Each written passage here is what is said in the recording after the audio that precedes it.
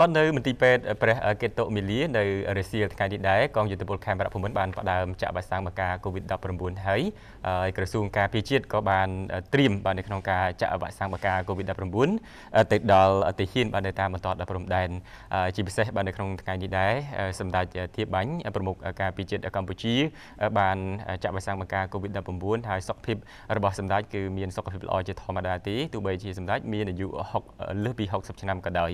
ពុយស្ដាននៅព័ត៌មានមួយនេះបាទលោកជីធរិតបាទនឹងលំអិតជូនក៏ដូចជាបង្ហាញជូននៅសេចក្តីរាយការណ៍ជូនដល់លោកនាងបន្ថែមទៀត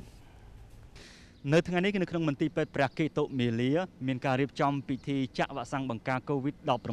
ដល់កងយុទ្ធពលខេមរៈភូមិន្ទនៅក្នុងពិធីថ្ងៃនេះសម្ដេចពិជ័យសេនាទាបាញ់ឧបនាយករដ្ឋមន្ត្រីនិងជារដ្ឋមន្ត្រីក្រសួងការពារជាតិបានអញ្ជើញជាអធិបតីមកពិនិត្យមើលសកម្មភាពផ្ទាល់តែម្ដងនៃការចាក់វ៉ាក់សាំងបង្ការ COVID-19 ទៅលើអិសរាជជននៃមន្ត្រីជាន់ខ្ពស់ក្រសួងការពារជាតិនិងកងយោធាកងយុទ្ធពលខេមរៈភូមិន្ទដែលទទួលវ៉ាក់សាំងបង្ការ COVID-19 ដែលថ្ងៃនេះជាថ្ងៃដំបូង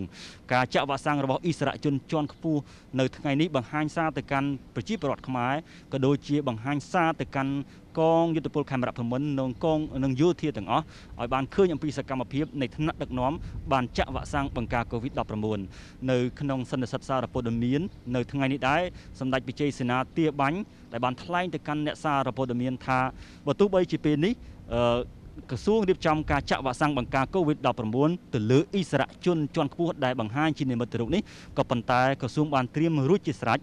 រដ្ឋាភិបាលបានត្រៀមរួចជាស្រេចនៅក្នុងការចាក់វ៉ាក់សាំងទៅដល់កងទ័ពទាហានយោធាដែលនៅតាមប្រចាំការនៅព្រំដែននៅតាមភូមិភាគតែម្ដងសម្ដេចបានលើកឡើងថាវ៉ាក់សាំងសម្រាប់ក្របខ័ណ្ឌក្រសួងការពារជាតិគឺរក្សាប្រមាណជា30ម៉ឺនដូសដែលអាចចាក់ទៅលើកងកម្លាំងជាពិសេសគឺកងទ័ពតែម្ដង ប្រមាណជា150,000នាក់ហើយវ៉ាក់សាំងដែលត្រៀមនោះនឹងដឹកទៅដល់ទីតាំងនៃកងកម្លាំងកងទាហានរបស់យើង ដែលឈរជើងនៅតំបន់ព្រំដែនឬក៏នៅតាមភូមិភាគដើម្បីចាក់ដល់ពួកគេតែម្ដងសូមអញ្ជើញស្ដាប់ដល់ស្ដាប់ប្រសាសន៍របស់សម្ដេចពិជ័យទាសេនាទាបាញ់នៅត្រង់ចំណុចនេះបាទការគោលដៅសំខាន់បំផុតខ្ញុំនឹងរៀបចំហើយឡូត្រៀមអស់ហើយមធ្យោបាយសម្រាប់ដឹកត្រៀមអស់ហើយទៅភូមិភាគទៅព្រំដែនហ្មង ភូមិភាគទី4ភូមិភាគទី5និងភូមិភាគមួយចំនួនទៀតឯនៅព្រំដែនហើយនៅព្រំដែននឹងខ្ញុំបានទៅសុំអន្តសាស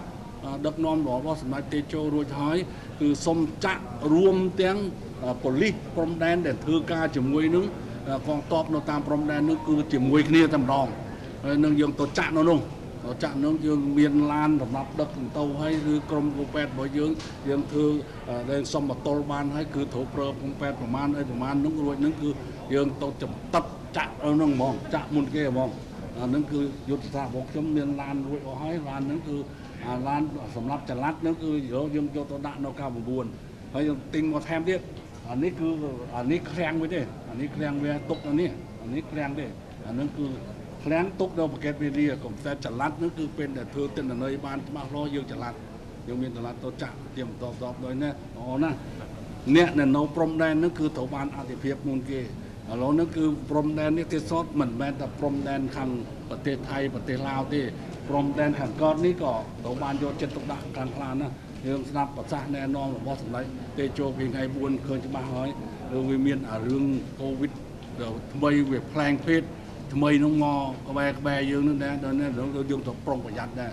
ដល់នេះគឺនឹងចាក់អស់តែយ៉ាងណាក៏ដោយគឺថាគោលដៅគឺយើងត្រូវចាក់ទាំងអស់ហើយជាពិសេសគឺអតិភិបគឺអ្នកដែលធ្វើការនៅតាមព្រំដែនបាទបាទនេះជាការបញ្ជាក់របស់សម្ដេចបជ័យសេនាទាបាញ់ដែលបានថ្លែងបញ្ជាក់ទៅកាន់ប្រជាជនខ្មែរក៏ដូចជាកងកម្លាំងដែរកងយោធាដែរដែលបញ្ជាក់ថារដ្ឋាភិបាលកម្ពុជាជាពិសេសក្រសួងការពារជាតិបានយកចិត្តទុកដាក់ខ្ពស់ទៅលើបងប្អូនដែលជាទាហាននៅតាមបណ្ដាព្រំដែនដែលពួកគេនឹងទទួលបានវ៉ាក់សាំងដោយឥតគិតថ្លៃហើយការទទួលបានវ៉ាក់សាំងនេះធ្វើឡើងដោយគោលការណ៍ស្ម័គ្រចិត្តអ្វីដែលជារឿងសំខាន់មួយនៅក្នុងកម្មវិធីថ្ងៃនេះដែរសន្និសីទសារព័ត៌មានអ្នកសារព័ត៌មានក៏បានចោទសួរសម្ដេចទៅលើសកម្មភាពសំខាន់សំខាន់ជាពិសេសយើងដឹងហើយសម្ដេចពិជ័យសេនាទាបាញ់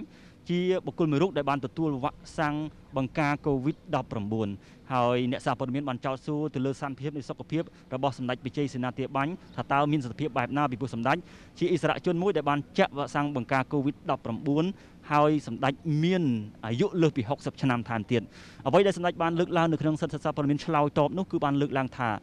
សន្តិភាពសុខភាពរបស់សម្ដេចវិជ័យសេនាទាបាញ់នៅពេលនេះគឺសន្តិភាពល្អប្រសើរមិនមានអ្វីប្រែប្រួលនោះទេ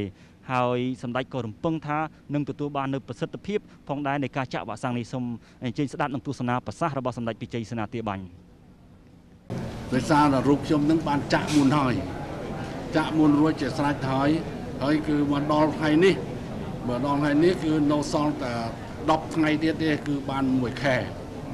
ដែលខ្ញុំបានចាក់រួចហើយ ហើយគឺមុននឹងខ្ញុំចាក់នឹងក៏មានអ្នកមួយចំនួនគឺចាក់មុនខ្ញុំទៅទៀតដើម្បីគេសាក់មើលសាក់របងមើលដល់សាក់របងរួចហើយគឺឃើញថាគុណភាពល្អប្រសិទ្ធភាពក៏ល្អសុវត្ថិភាពក៏អត់មានបញ្ហាអីទាំងអស់ទៅគេ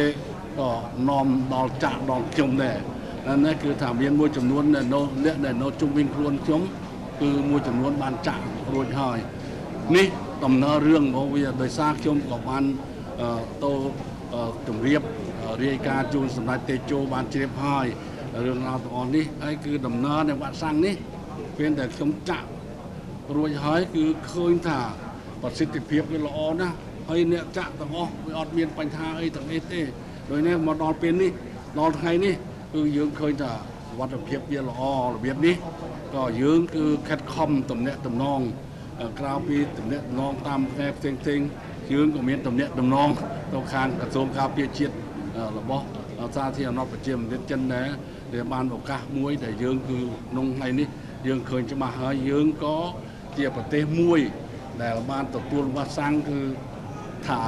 ថាថាយឺតវាមិនមែនជាការយឺតទេអាចនឹងលឿនជាងប្រទេសមួយចំនួនហើយមានទំហំមានទំហំចំនួនគឺគួរសមដែរអត់ជំហានដំបូងនឹងចំនួនគួរសមដែរដែល60ម៉ឺនដូសគឺថាវាគួរសមដែរសម្រាប់ប្រជាជាតិអាណាចក្រ កម្ពុជារបស់យើងបាទលោកនាយកទីមេត្រីការលើកឡើងរបស់សម្ដេចបជ័យសេនាធាបាញ់នេះបានបង្ហាញថាសម្ដេចនៅមានសុខភាពល្អហើយមានការប្រែប្រួលឬក៏ប្រតិកម្មណាមួយនៃការចាក់វ៉ាក់សាំងបង្ការ COVID-19 Sinopharm របស់ចិននោះទេនេះជាសក្ខីភាពមួយដែលបង្ហាញទៅកាន់ប្រជាជនខ្មែរអំពីគុណភាពក៏ដូចជាការមិនប្រតិកម្ម ជំវិញនៃការប្រើប្រាស់វ៉ាក់សាំងនេះហើយខ្ញុំសូមកត់សម្គាល់ទៅកាន់លោកនាងដែរថាវ៉ាក់សាំងនៅក្នុងក្របខ័ណ្ឌនេះគឺជាក្របខ័ណ្ឌនៃការស្នើសុំរបស់ក្រសួងការពារជាតិមានន័យថាសម្ដេចពិជ័យសេនាទាបាញ់ជាអ្នកសរសេរលិខិតស្នើទៅកាន់រដ្ឋមន្ត្រីក្រសួងការពារជាតិចិនតែម្ដងដើម្បីស្នើវ៉ាក់សាំងហើយចិនបានសម្រេចក្នុងការផ្ដល់ឲ្យកម្ពុជា ក្នុងរង្វង់1លានដូស ក្នុងចំនួន1លានដុសដែលយើងបានទទួលសារ60ម៉ឺនមក60ម៉ឺនដុសរួចហើយ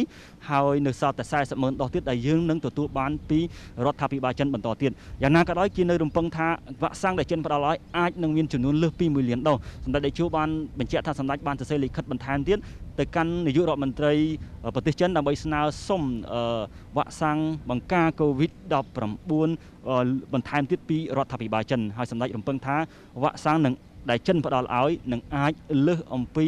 ចំនួន1លានដុល្លារខ្ញុំបាទជាធិរិទ្ធធ្វើសេចក្តីរាយការណ៍អំពីពេទ្យខ្ញុំបាទជាធិរិទ្ធធ្វើសេចក្តីរាយការណ៍អំពីមន្ទីរពេទ្យព្រះកេតុមាលារាជធានីភ្នំពេញ